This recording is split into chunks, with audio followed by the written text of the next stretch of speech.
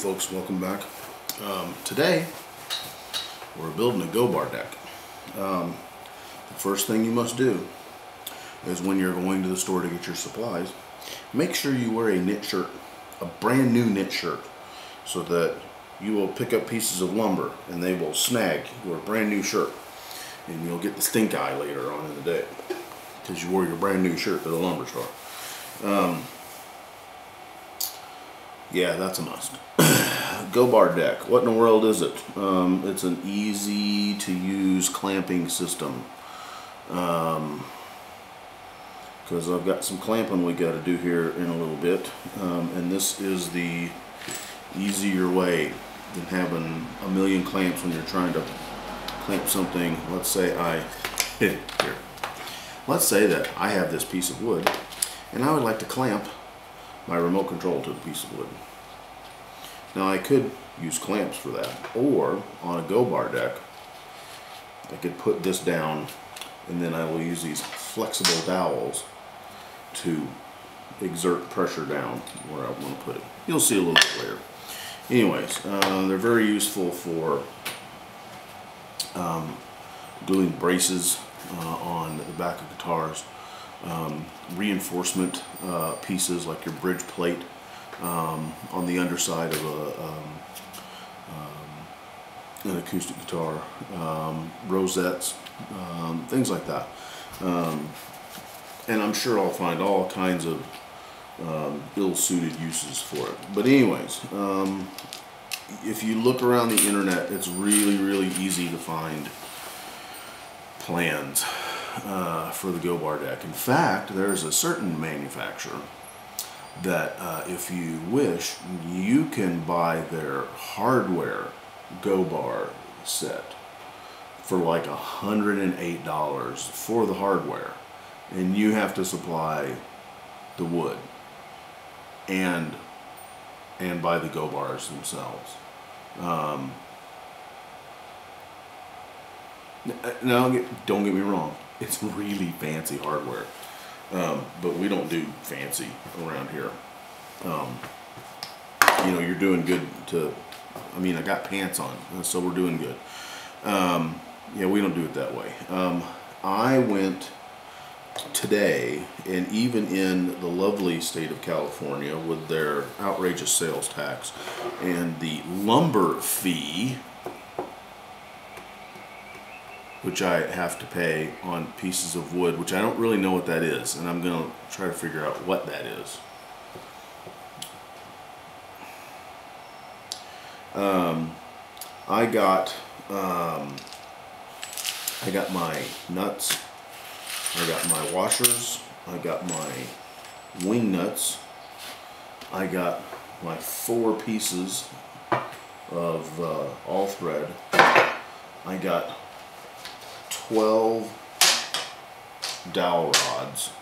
I got two two by four pieces of three quarter inch particle board and a two by two piece of three quarter inch pine plywood with the tax, with the fees. Um, oh, and I got a can of this Plastidip stuff um, because we're going to put the Plastidip on the end of one end of each dowel so we don't get the big uh, golf ball marks um, in our stuff.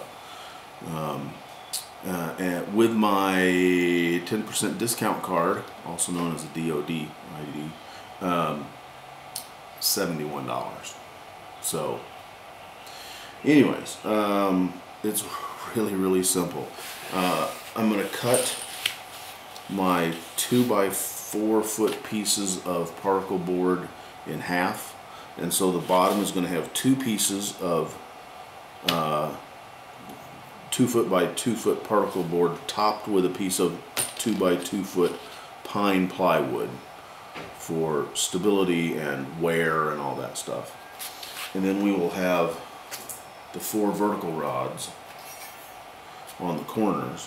And then there will be two pieces of two foot by two foot uh, particle board. Uh, and all that's going to get tight bonded together and all the particle board um, is going to get a coat of varnish on it. Um, to uh, help kind of regulate its moisture sucking abilities. Um, that's what we're going to do, and then we'll figure out what the appropriate length is for these. Um, this is, um, let's get this correct. This is a 5 16ths by 48 inch wooden dowel made of poplar. Um, so as you can see, it has some give to it, um, which is what we want. Um, and they're 75 cents a piece or something. Um, I like the fiberglass ones. I don't like that they're three dollars a piece or five dollars a piece, depending on who you get them from. Um, so, anyways, that's what we're doing. We're gonna cut some. We're gonna cut and glue this morning, and then we'll um, uh, and then we'll dip our sticks.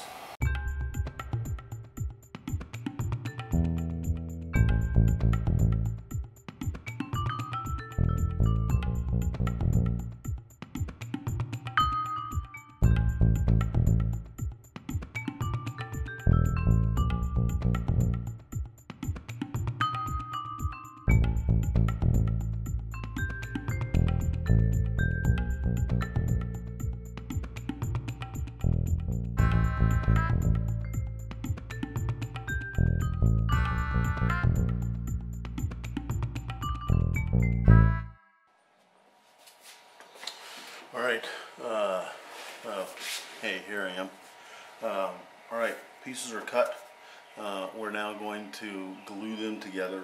I'm using Gorilla wood glue um, just because that's what I have um, the least of at the moment. Got about half a bottle of that, and if I run out of that, then I'll go to my original Titebond. Um, so now it's uh, gluing and clamping. Very exciting stuff.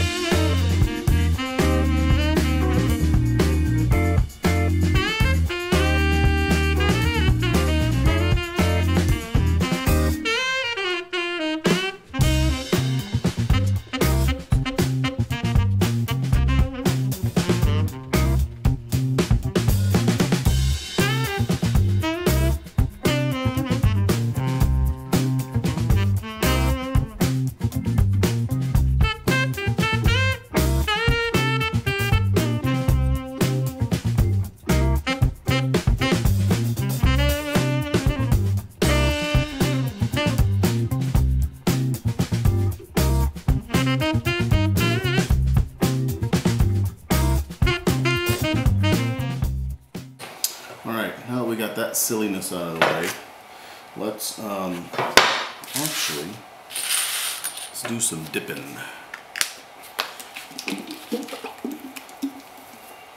Plastidip is what it's called.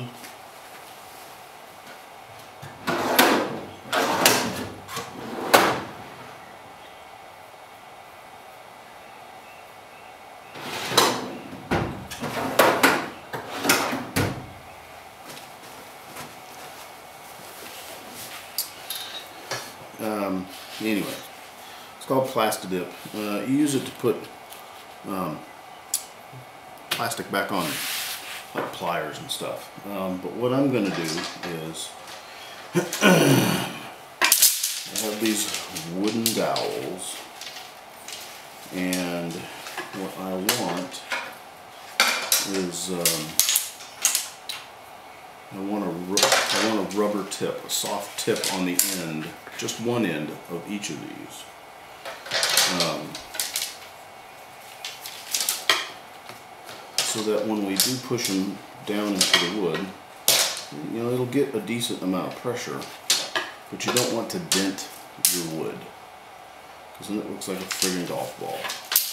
Um, so, what we're to do is, well, we're probably going to make a gigantic mess, is what we're to do. Um,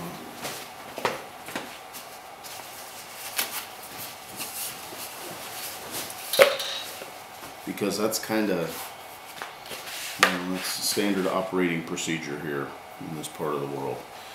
Um, black's the only color I could get. Mmm. Ooh, yes. Remember, uh, remember Testor's model paint? The old model paint, orange and white tube? Yeah, that's the smell there.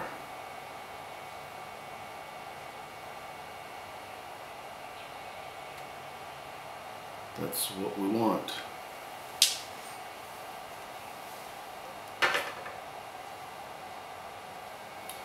Now the question is, hmm, what is the best way? Oh, see, it's already skinning over. All right. Yeah, I think we'll just do it like this.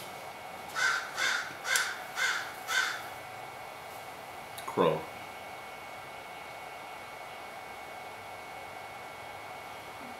See, it doesn't drip off the end, which is cool.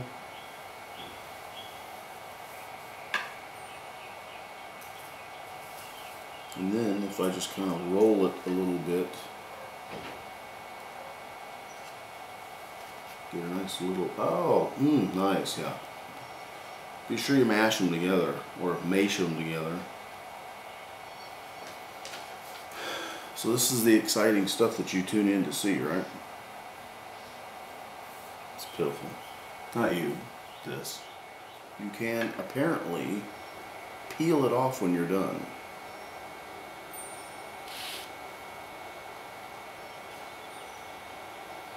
Yeah, that's, oh, this is a bad idea. Oh, yeah. I'm gonna do it anyways, aren't I? Alright, we'll just leave that there.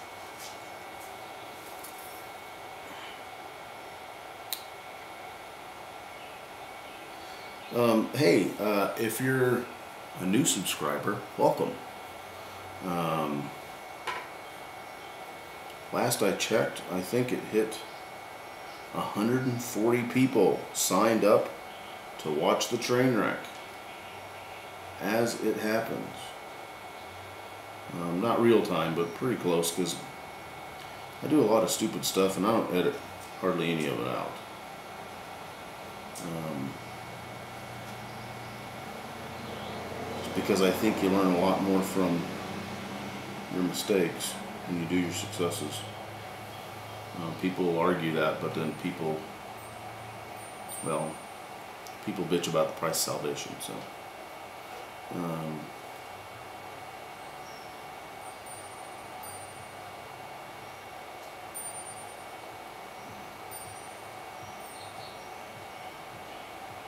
I'm trying real hard to resist the urge to plastic dip my finger. I'm sure on the side of the thing it tells me don't do that. Because most fun stuff, it tells you don't do that.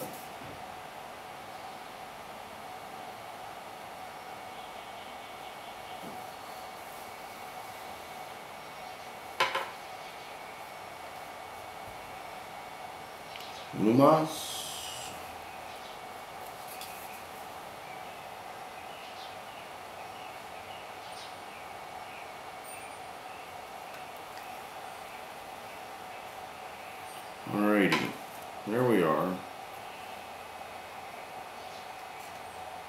12 sad, somewhat misshapen uh, go bar tips. Go bar rods. Tips for the rods. Oh my god. Anyways, there they are. Um, we'll give it time to dry and then we'll uh, we'll see how that works and if we have to put another coat on them we'll put another coat on. Um, because the wood uh, is going to dry overnight, and then we'll uh, then we'll trim up to fit. Um, yeah. Oh, I guess we could get these rods ready.